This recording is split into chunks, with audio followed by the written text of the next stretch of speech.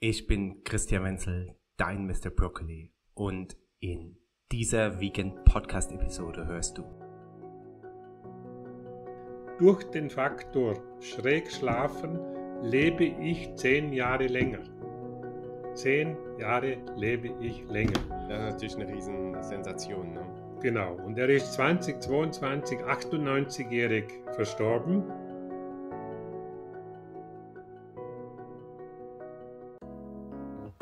Dein Vegan Podcast liefert dir wöchentlich das Beste aus den Bereichen Gesundheit, Fitness, Longevity, Kinderernährung und vielem mehr.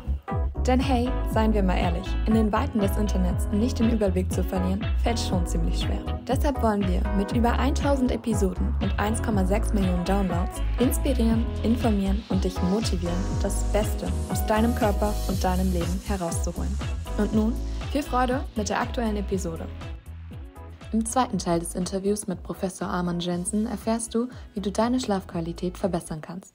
Dass Bewegung heilende Effekte auf den menschlichen Körper hat, wusstest du wahrscheinlich bereits. Aber warum ausgerechnet Trampolinspringen sich positiv auf deine Gesundheit auswirken kann, bestimmt noch nicht.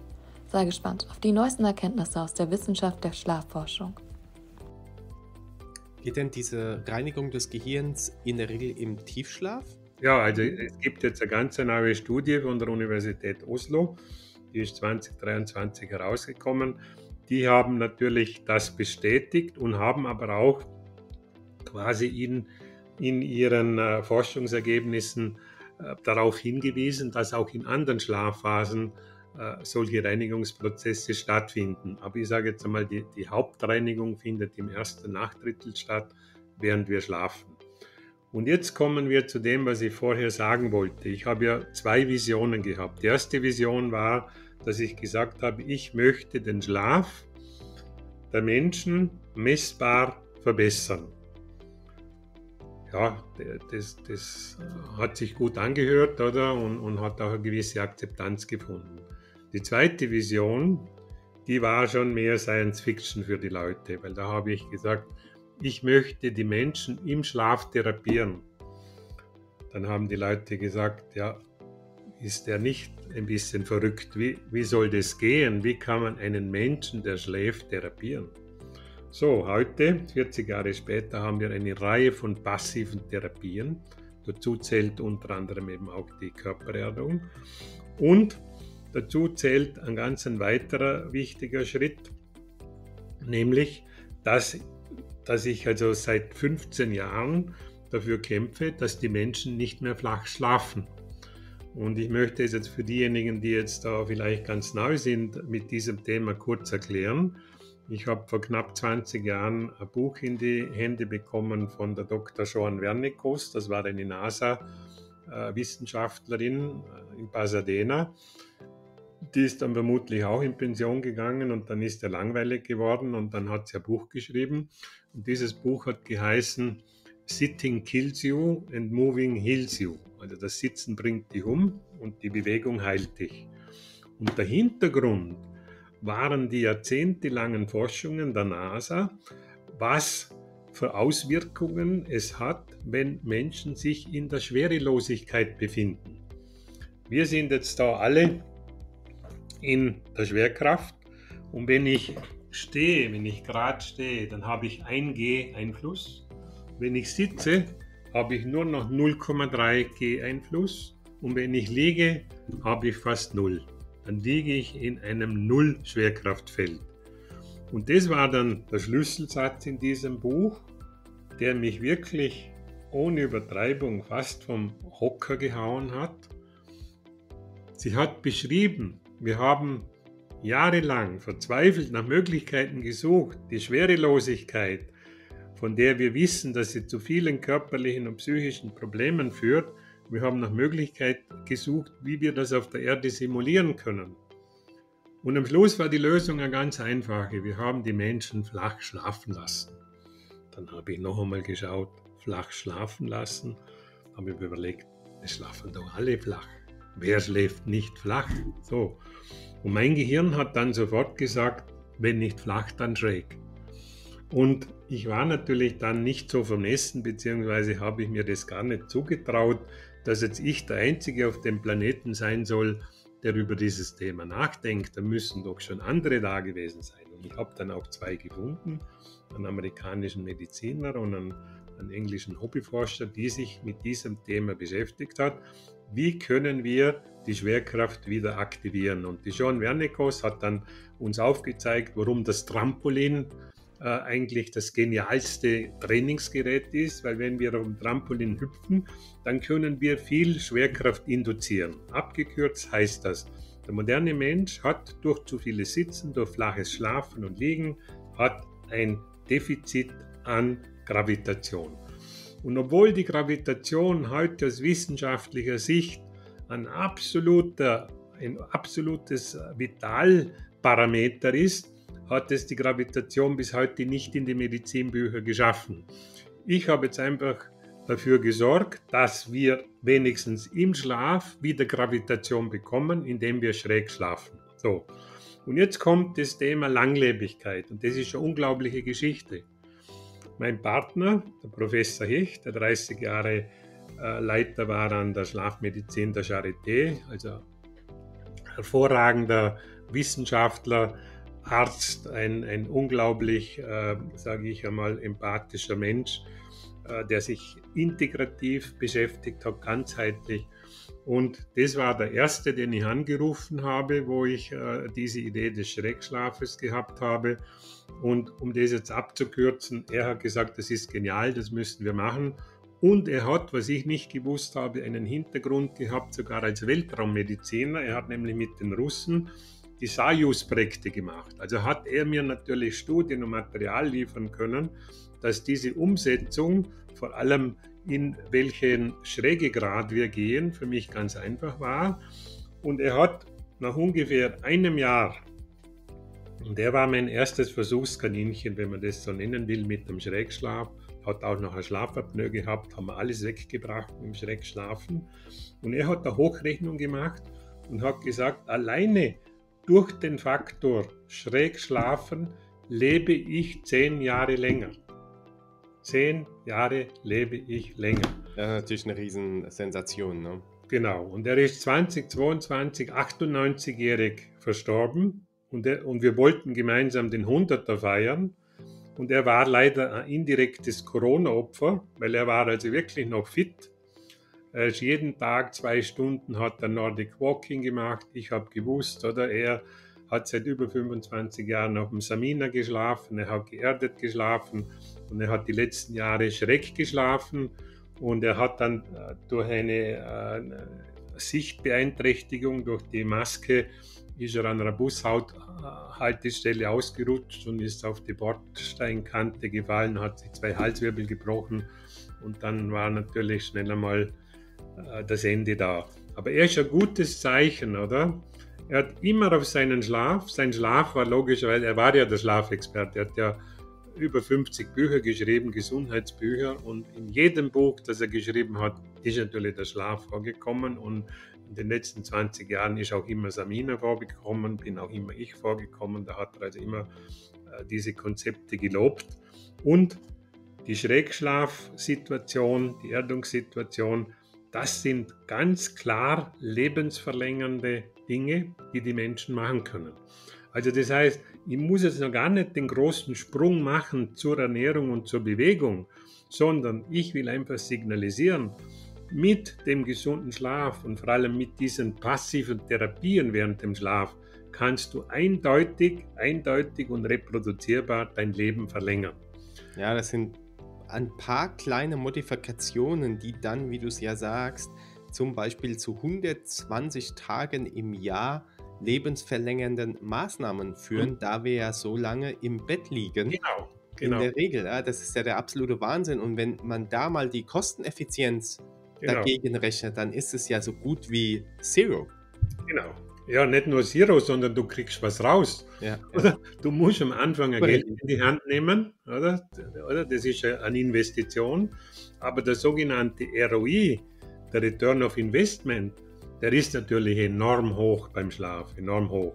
Weil jetzt kommt es ja, in dem Moment du besser schläfst, wirst du automatisch dich gesünder ernähren. Da brauchst du gar niemanden Da brauchst du nicht den, den, äh, irgendeinen Spezialist. Du wirst dich automatisch gesünder ernähren. Du wirst weniger Zucker nehmen, du wirst weniger Junkfood nehmen und du wirst dich mehr bewegen. Das ist durch Studien alles nachgewiesen. Und, und jetzt sind wir wieder bei der positiven Psychologie, du wirst eindeutig viel mehr hilfreiche Gedanken haben, wenn du gesund schläfst. Menschen, die schlecht schlafen, haben logischerweise viel mehr negative Gedanken als Menschen, die gut schlafen. Also das heißt, alle diese Zusatzgeschichten, und jetzt kommen wir zum Sozialen. Wenn du gut schläfst, bist du viel sozialer, du bist viel empathischer.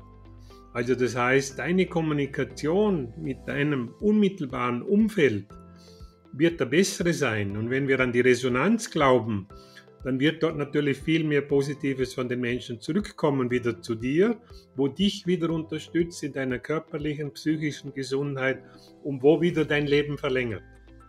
Also ist quasi ein Indikator, wenn ich äh, schlecht drauf bin die ganze Zeit und äh, mich wenig bewege und das wissen wir ja auch schon lange, dass äh, wenn ich mich sehr ungesund ernähre oder sogar überkalorisch, dann sind es hervorragende Indikatoren dafür, dass ich auf meinen Schlaf achten sollte, denn dann ist er absolut nicht gut. Dann brauche ich nicht genau. mehr eine Tracking-Uhr, äh, sondern dann weiß ich schon automatisch, ah, Tiefschlaf, REM-Schlaf, ja. äh, da scheint was nicht zu stimmen. Ne? Und dann genau. der vierte oder fünfte Indikator, ich liege öfter länger wach, wie du es ja sagst, nur eine Stunde am Tag äh, oder eine Stunde in der Nacht liege ich wach äh, das multipliziert sich. Also daran kann ich sehr, sehr einfach und ohne Kosten entdecken, wie gut ist es um meinen Schlaf bestellt.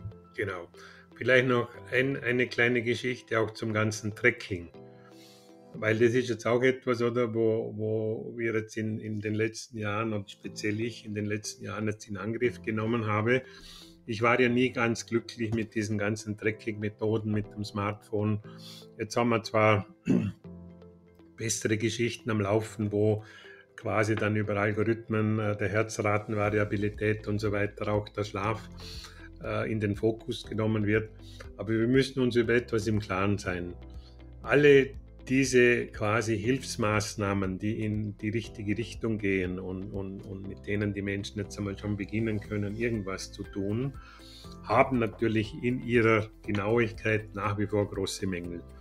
Ich habe also einen wissenschaftlichen Mitarbeiter, der hat die letzten Monate die gängigsten, die gängigsten am Markt befindlichen Schlaftrecker untereinander verglichen und am Ende des Tages mit professionellen Schlafmessgeräten. Und wir haben natürlich nach wie vor Unterschiede in der Genauigkeit von 30 und 40 Prozent. Und wenn wir ganz ehrlich sind, können wir es nicht brauchen. Oder? Also ich, ich kann es für mich nicht brauchen, oder? weil ich kann auch, äh, wenn ich jetzt, äh, äh, sage ich einmal, ein prominentes Produkt habe wie die Apple Watch, oder? die zeigt mir schon sehr viel an. Das heißt also, da kann ich schon sehr viele Vitalparameter rausnehmen. Ich, ich sehe auch ein bisschen, was mit, mit, mit meinem Schlaf los ist. Aber in der Tiefe, um den Schlaf wirklich beurteilen zu können, sind wir weit weg. Und deshalb ist eines meiner Projekte aktuell, ich möchte jetzt ein Schlafmessgerät herausbringen, einen, einen digitalen Schlafcoach, der auf EEG-Basis äh, funktioniert, das heißt, wo wir die Gehirnströme messen. Und die Messung der Gehirnströme ist nach wie vor der Goldstandard. Über etwas anderes braucht man nicht nachdenken. Also, und, und ich kann mich erinnern, wo wir Tests gemacht haben, schon vor vielen Jahren, schon, wo die ersten Trecker rausgekommen sind. Und du bist quasi vor dem Einschlafen, hast du ein Buch gelesen und hast dich überhaupt nicht bewegt. Dann hast du am nächsten Tag eine Stunde mehr Tiefschlaf drauf gehabt. Und das ist natürlich ein Unsinn, oder? Über das müssen wir uns im Klaren sein. Und was auch noch ein wichtiger Punkt ist, die Menschen, und, und da sind wir jetzt bei, bei, bei den professionellen Biohackern, oder? Die, die alles trecken an, an ihrem Körper, das führt zu Stress. Also diese Feedback-Schleife, dass alles, was ich tue, ich versuche in oder, oder mit, mit meinen Messergebnissen abzugleichen, oder? Das ist natürlich nicht für alle Menschen gut. Ja? Weil da sind wir auch wieder bei den Blue Zones, die ja quasi diese, diese alten äh, Völker, die lange und gesund und glücklich leben, die messen ja quasi gar nichts. Und da kommt der, kommt der ursprüngliche Spruch wieder so gut zur Geltung, der ja heißt, Unwissenheit ist ein Segen. Also die kümmern sich einfach um nichts anderes als um ihre Gesundheit, um ihr Glück, um den Spaß im Leben, um ihre Community. Ne?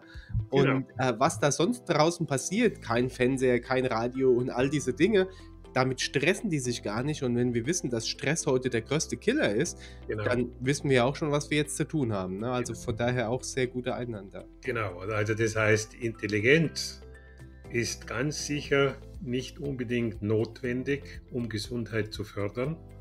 Im Gegenteil, bei vielen Menschen kontraproduktiv. Es ist nach wie vor so, dass der dümmste Bauer sinngemäß hat die größten Kartoffeln.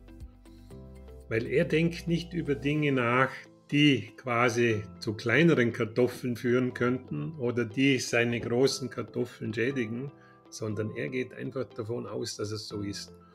Und das heißt, der Mindset, und jetzt sind wir beim nächsten wichtigen Thema, Mindset, das heißt, wie ist meine Einstellung zum Thema Gesundheit? Und natürlich wissen wir nach wie vor nicht konkret, wie die Gesundheit entsteht. Wir wissen auch nur im Ansatz, wie Krankheit entsteht. Also die Pathogenese ist das Gegenteil der Salutogenese und die Pathogenese beschäftigt sich mit den Krankheiten und beschäftigt sich in letzter Konsequenz auch mit den Behandlungen von Krankheiten. Aber es gibt nach wie vor viele, viele, viele, viele Gesundheitsstörungen, von denen wir nicht wissen, wie sie entstehen. Und ich beschreibe in meinen Büchern auch immer ein bisschen das Kapitel der Epigenetik. Wir haben natürlich einen Einfluss auf Dinge, auch wenn jetzt wir genetisch nicht super, super gut ausgestattet sind und ein paar Defizite haben, können wir mit unserem Mindset, mit unseren Gedanken, mit unserem Glauben bis hin zum Placebo-Effekt können wir Dinge drehen. In Wirklichkeit können wir alles drehen, wir können alles neu kreieren, wir können alles neu schaffen. Und da müssen wir hin. Das ist eigentlich der Weg, um auch unser Leben zu verändern. Und in der positiven Psychologie, da gibt es ja dieses Sperma-Modell, was dort alles wichtig ist, aber dort äh, sind natürlich ähnliche äh, Dinge beschrieben, die wir auch vom Antonowski kennen. Und ein wichtiger Punkt ist natürlich der Sinn des Lebens. Menschen, die für sich den Sinn des Lebens erkennen, die sind gesünder und die schlafen auch besser. Das wissen wir natürlich aus den Forschungen der positiven Psychologie. Und die positive Psychologie ist eigentlich im Moment die einzige wissenschaftliche Grundlage, wie der Mensch zu Glück kommt, zu Glücksgefühlen kommt. Das ist eigentlich das Ziel der positiven Psychologie, dass wir glücklich werden. Und das ist etwas, was in jedem Menschen drinnen steckt. Wir wollen glücklich sein und wir wollen im Leben Glück haben. Und Glück und Erfolg sind kein Zufall, sondern an dem musst du arbeiten. Und das ist eigentlich die Botschaft. Und deshalb ist natürlich auch klar, dass viele Dinge, die man uns verspricht in der Werbung, natürlich am Ende nicht haltbar sind. Funktioniert nicht. Das heißt, also, wie du am Anfang gesagt hast, diese äh, Superpille, die gibt es nicht, die, die hat noch niemand erfunden und die wäre auch ein Unsinn. Oder? Weil das äh, Leben und die Gesundheit, die sind in sich so komplex, dass wir das gar nicht erklären können. Oder? Weil es ist ja schon schwierig genug, die Gesundheit überhaupt zu definieren. Und, und, und wir wissen ja, dass die Gesundheit natürlich viel, viel, viel mehr ist als die Abwesenheit von Krankheit. Ja, so. Also das heißt, es ist schon mal grundsätzlich wichtig, darüber nachzudenken, wie definiere ich selber Gesundheit? Wann fühle ich mich gesund? Was ist Gesundheit für mich? Und dann der nächste Schritt ist, alle diese Tools, die wir jetzt da besprochen haben, in Angriff zu nehmen. Und gerade die passiven, oder? Also zum Beispiel, also ich empfehle den Leuten, alle halbe Stunde aufzustehen. Das lange Sitzen ist einer der größten Probleme für den Menschen. Das heißt also, wenn du lange sitzt, wenn du eine halbe Stunde am Stück sitzt, dann beginnt quasi dein Körper, wenn wir davon ausgehen, dass es eine Intelligenz des Körpers gibt, dann beginnt dein Körper darüber nachzudenken, was stimmt nicht. Irgendetwas stimmt nicht, dass jemand eine Stunde sitzt. Und dann beginnt quasi der Körper gleich mit seinem Notfallprogramm. Und das Erste, was er macht, ist, dass er beginnt, deine Faszien zu verkleben. Und deshalb haben natürlich Leute, die viel sitzen, Rückenprobleme. Vor 20, 30 Jahren haben die Orthopäden alle noch von Bandscheiben und, und, und, und anderen Geschichten erzählt. Heute wissen wir, eine der Grundursachen ist das Faszienproblem. Unsere Faszien, also wollen wir jetzt nicht allzu tief eintauchen, kann jeder googeln. Das ist einfach ein Teil unseres Bindegewebes und das ist wichtig, dass das flexibel bleibt, dass das quasi auch geschmeidig bleibt. Und das unterstützt unsere Muskulatur, unsere Gelenke, unsere Wirbelsäule, unsere Organe werden durch die Faszien gehalten und vieles andere. Wir also, haben ja über diese Dinge sehr ausführlich in unserem ersten Interview gesprochen, lieber Günther, ja. was ich bei dir äh, geführt habe. Und da sind diese Dinge, auch die ganzen natürlich passiven und aktiven ja. Schlaf-positiv-Einflussfaktoren erzählt im Detail. Deshalb brauchen wir heute ja nicht mehr drauf äh, so ja, intensiv okay, darauf einzugehen. Äh, fand ich aber spannend und ich kann mich noch an eine Situation erinnern, da hatte ich erzählt, dass ich in der Nacht mindestens drei, vier Mal auf Toilette muss. Und dann war so deine erste spontane Reaktion, oh, das ist aber nicht so gut. Und dann hast du, glaube ich, so sinngemäß gesagt, hm, wenn ich es mal richtig überlege, ist das gar nicht so schlecht, weil du kommst ja dann immer wieder mal zumindest kurz in die Bewegung und wenn du dann wieder sehr schnell einschläfst, ist es dann gut. Also genau, du, du kannst äh, Schwerkraft aktivieren, oder? Genau. genau ja. Du kommst vom flachen Liegen weg, oder? Aber klar ist, und, und, und, und, und jetzt äh, wollen wir vielleicht zum Schluss hin auch noch darüber reden, was es überhaupt bedeutet, gesund zu schlafen. Weil das ist ja eigentlich die größte Herausforderung. Die Empfehlung, gesund zu schlafen, ist schnell ausgesprochen, oder? Das ist ein Satz. Ich sage dir, ja, äh, lieber Christian, versuch einfach gesund zu schlafen. So. Und das ist natürlich ganz wichtig zu definieren, was ist ein gesunder Schlaf.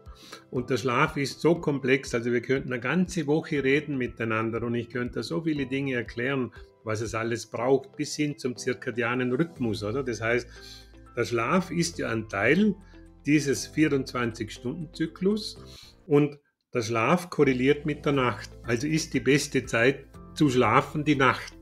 Da beginnt schon. So. Jetzt äh, viele Menschen versuchen am Tag zu schlafen und ich sage es noch drastischer, oder? Wir haben die Situation, die Menschen sind am Tag müde und schläfrig und in der Nacht sind sie wach. Und ein Teil von dieser Problematik ist geschuldet ihrer inneren Uhr, weil ihre innere Uhr nicht mehr synchron läuft. Und die innere Uhr ist quasi abgeeicht auf den Lauf der Sonne. Hat also mit Licht zu tun, mit der Sonne und mit dem Tageslicht. Und deshalb brauchst du natürlich auch viel Tageslicht, um in der nächsten Nacht gut schlafen zu können. Aber kurz erklärt, was ist ein gesunder Schlaf? Und da kommt uns die Schlafmedizin natürlich äh, zur Hilfe.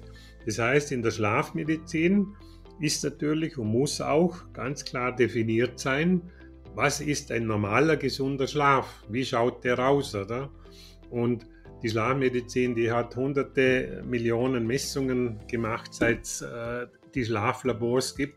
Das heißt also, da äh, sehen wir natürlich genau, wenn wir diese berühmte Gaußsche Glocke uns anschauen, gibt es einfach eine Form des Schlafes, die wir als gesund und als supergut anschauen können. Und das beginnt beim Einschlafen. Ein gesunder Mensch schläft zwischen 10 und 15 Minuten ein. Dann haben wir die Schlafphasen, das heißt also die Schlafphasen korrelieren mit unseren Gehirnströmen. Wenn wir einschlafen, kommen die Gehirnströme von oben nach unten. Jetzt, wenn wir reden, sind wir irgendwo im Beta-Bereich, 14, äh, 25 Hertz. Wenn wir jetzt uns nicht groß aufregen, geht es auch nicht darüber. Und das ist natürlich dann etwas, was automatisch früher funktioniert hat und wo wir jetzt natürlich vermehrt Probleme haben, weil immer mehr Faktoren dazukommen, die quasi diese Regelprozesse stören. Das ist Kunstlicht, das ist Lärm, das sind elektromagnetische Felder. Also da gibt es, ich habe da bis zu 40 verschiedene Parameter habe ich analysiert und geschaut, wie wirkt wo, was, warum, wieso. Das heißt, das Einschlafen ist wichtig, dann tauchen wir ab. Da haben wir also die Schlafphasen, die Phase 1 mit Leichtschlaf, Phase 2 ebenfalls noch Leichtschlaf, das geht dann in den Theta-Bereich, Gehirnströme kommen weiter nach unten. Äh, Theta-Bereich 4 bis 7 Hertz und dann kommt äh, der Tiefschlaf. Der Tiefschlaf ist gekennzeichnet durch eine langsame Wellenbewegung im Gehirn, der Deltaschlaf. Und der Tiefschlaf ist ganz wichtig für die körperliche Regeneration. Und das findet im ersten Nachtdrittel statt. Dann tauchen wir langsam auf, wieder an die Oberfläche. Und dann kommt der Traumschlaf. Das heißt, am Ende eines Schlafzyklus tritt der Traumschlaf ein, der sogenannte REM-Schlaf, Rapid Eye Movement, wo wir also unsere Augäpfel ganz schnell unter den geschlossenen Augenlidern hin und her bewegen und dann tauchen wir wieder ab. Und ein Schlafzyklus, das heißt vom Einschlafen bis zum, zum äh, Träumen, dauert ungefähr 90 Minuten. Und wenn wir jetzt über die Langlebigkeit reden, und die größten Studien hat man in China gemacht. Warum? weil China ist das einzige Land weltweit, wo über 50 Millionen Menschen hat, die über 75 Jahre alt sind. Und da kann man natürlich solche Studien super gut machen über die Langlebigkeit. Oder? Das wird dann über äh, die ganzen Jahre verfolgt. Und da sieht man, die höchste Wahrscheinlichkeit, alt zu werden, hast du mit einer Schlaflänge von 7,5 Stunden. Alles, was in Richtung 6 und unter 6 geht, ist aufgrund der Studien absolut lebensverkürzend. Also das heißt, wir haben es auch in der Hand, unser Leben zu verkürzen. Also der Schlaf ist jetzt nur ein Teil, oder? Wir brauchen uns nur lange genug ungesund zu ernähren, äh, uns nicht zu bewegen und, und alle diese Dinge machen, von denen wir wissen, dass sie für unsere Gesundheit nicht gut sind. Bis, bis hin auch zum, zum negativen Denken und negativen Mindset. Und wichtig ist die Schlafkontinuität, das heißt also wir sind Blockschläfer, das heißt wir absolvieren den Schlaf an einem Stück. Äh, vor noch nicht allzu langer Zeit, man kann das zurückdrehen, irgendwo 200 äh, Jahre, waren wir Menschen äh, keine Blockschläfer, sondern da haben wir einen sogenannten polyphasischen Schlaf gehabt. Also das heißt, wir haben zwei, drei Stunden geschlafen, dann waren wir wieder eine Stunde wach, sind auch aufgestanden, haben äh, Tätigkeiten verrichtet und so weiter. Aber heute sind wir Blockschläfer, also ist es wichtig, dass wir ohne große Unterbrechungen schlafen. Und die Überraschung ist immer, und, und das sieht man natürlich, wenn man Schlafmessungen macht, der Mensch wacht so im Schnitt äh, ungefähr 20, manche 30 Mal pro Nacht auf, aber das sind Mikrowachphasen. Das heißt, also, die sind nur ganz kurz, oft nur ein paar Sekunden und längstens ein, zwei Minuten. Und alles, was über zwei Minuten läuft, an das können wir uns am nächsten Morgen erinnern. Und jetzt kommen wir noch zu einem wichtigen Parameter, das ist in der Zwischenzeit aus meiner Sicht äh, etwas vom Wichtigsten geworden neben der Schlafqualität, nämlich die Schlafeffizienz. Und der Mensch, der moderne Mensch, kann nicht mehr effizient schlafen. Das heißt, du liegst acht Stunden im Bett und schläfst davon nur sechs. Ergibt eine prozentuelle Effizienz von 75 Prozent. Und das ist hundsmiserabel schlecht. Ein Superschläfer hat 97% Schlafeffizienz. Das heißt, die Zeit, wo der im Bett ist, schläft er. Und das sind alles die Dinge, mit denen ich mich beschäftige. Wie kann ich, ohne dass jetzt der Einzelne was tun muss, dafür sorgen, dass er schneller einschläft, dass er besser durchschläft, dass er weniger aufwacht, dass er sich besser erholt. Und deshalb haben wir die Erdung, deshalb haben wir den Schrägschlaf, deshalb haben wir jetzt begonnen mit der Musikmedizin im Schlaf, deshalb haben wir jetzt begonnen mit digitalen Sonnenauf- und Untergängen, weil die Menschen ja keine Sonnenaufgänge und Untergänge mehr erleben. Wer erlebt das? Niemand. Kein normal arbeitender Mensch hat in der Regel einen Sonnenaufgang oder einen Sonnenuntergang.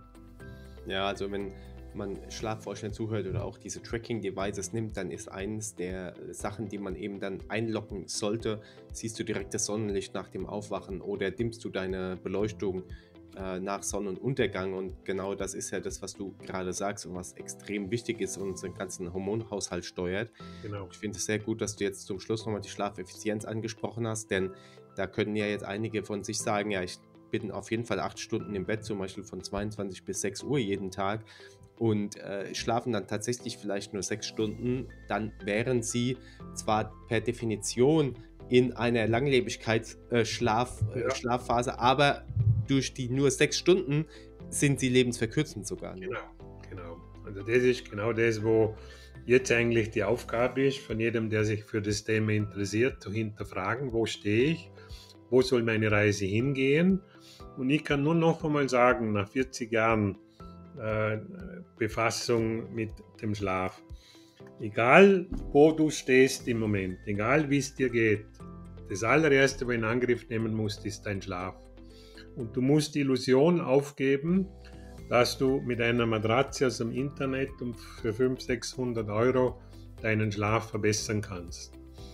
Das möchte ich vielleicht am Schluss auch noch abrunden.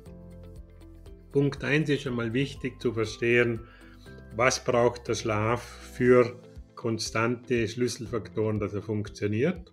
Oder? Da zählt zum Beispiel dazu, die Dunkelheit ist gut. Äh, also im Dunkeln schläfst du eindeutig besser als unter Lichteinfluss. Menschen, die krank sind, vor allem krebskranke Menschen, sollten Lichteinflüsse während dem Schlaf absolut vermeiden. Die Krebszellen wachsen um das Dreifache schneller unter dem Einfluss von Kunstlicht während dem Schlaf als ohne Licht, oder? Das als kleiner Tipp für Leute, äh, die, die in solchen Situationen sind. Und wichtig ist, diese Musskriterien zu kennen. Und da wirst du dann freundlicherweise ein paar Links einmal einpflegen, äh, wie unser Schlafmagazin einfach gesundschlafen.com, wo in der Zwischenzeit 10.000 Seiten von Google indexiert sind. Da kann man sich umfassend zum Thema Schlaf äh, informieren. Das würde ich ja auf jeden Fall machen und äh, da eben auch darauf verweisen, weil äh, man kann zwar jetzt nochmal von dir. Ja, ja, das ist eh am besten, oder? Auch unser Zwei-Stunden-Interview äh, damals, was immer noch online ist in YouTube, kann ich da auf jeden Fall sehr. Wir sind eh über der Zeit, das ist, glaube ich, eh gut. Und ich glaube, wir haben die, die, die wichtigen Dinge ein bisschen antriggern können, um was es überhaupt geht, wenn es um die Langlebigkeit geht. Und da spielt einfach der Schlaf eine dominante Rolle und natürlich die Einsicht, ich habe selber in der Hand. Ich habe selber in der Hand, oder? Es gibt natürlich Einflüsse, die da sind und, und das sind die äußeren Einflüsse. Und es hat alles, was wir tun und alles, was wir leider auch nicht tun, hat sofort einen Einfluss auf die Gesundheit und den Schlaf. Alles. Absolut. Oder? Und es ist alles miteinander vernetzt. Und ja. wenn ich an einem Ende was zu viel mache oder zu wenig mache, dann wirkt sich am anderen Ende wieder aus. Das ist, also es ist genommen einfach und trotzdem sehr kompliziert. Absolut. Ich würde zum Schluss tatsächlich nur noch eine Frage stellen, die mich natürlich auch von dir persönlich interessiert, dass eben die Zuhörerinnen und Zuhörer da eben auch dich persönlich noch ein bisschen besser kennen. Du sagst, du hast dein 71. Lebensjahr wie das erfolgreichste deines Lebens bisher und du kennst deine ja, Lebenswin. Es Magst du das beides verraten kurz? Ich habe gesagt, ich werde jetzt am 2. Oktober 70 Jahre alt und mein Ziel ist es, dass ich mein 71. Lebensjahr mit dem Wissen, das ich jetzt nach 70 Jahren habe, zu meinem erfolgreichsten mache. Und unter anderem bin ich eben dran, einen Bestseller zu schreiben. Der soll dann äh, vor dem Sommer herauskommen. Äh, der Verlag hat es ohne mein Zutun sofort als Schwerpunktbuch äh, quasi aufgenommen. Oder? Also das heißt, äh, es läuft alles in die richtige Richtung. Und ja, und da mache ich dann auch ein Experiment. In, in dem Buch möchte ich mit den Lesern ein 1% Feldexperiment machen. Das heißt also, wenn es uns gelingt, dass wir innerhalb vom deutschsprachigen Raum mit diesen Botschaften eine Million Menschen, das ist ein Prozent von 100 Millionen, erreichen, dann können wir einen Feldeffekt erwirken. Das heißt, also dann besteht zumindest einmal die theoretische Möglichkeit, dass dann alle Menschen davon profitieren können. Und das ist natürlich ein Naturgesetz, das kennt man aus dem Ayurveda, aber wir kennen es auch aus anderen äh, Gebieten. Oder? Wir wissen, dass wir in unserem Herzen ein Prozent Helferzellen haben und das genügt, um den Takt unseres Herzens, den Rhythmus zu bestimmen. Oder wenn wir ein Stück Eisen haben, dann genügt es, wenn ein Prozent davon magnetisiert wird, dann wird das ganze Stück magnetisiert. Also das sind alles hochinteressante Sachen, mit denen ich mich beschäftige. Und eines meiner Steckenpferde ist natürlich die Quantenphysik.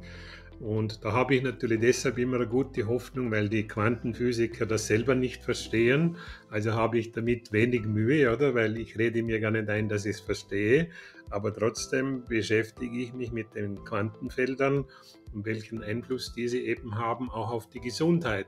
Und ich glaube selber, dass Gesundheit ansteckend sein kann und dass auch der gesunde Schlaf ansteckend sein kann. Oder? Und ja, mehr und mehr Menschen kümmern sich darum und das ist für mich eigentlich ein Zeichen, dass irgendetwas im Hintergrund hinter diesem berühmten Vorhang passiert, um die Menschen doch auf eine richtige Spur zu, äh, Spur zu bringen. Oder? Und das ist so mein täglicher Antrieb.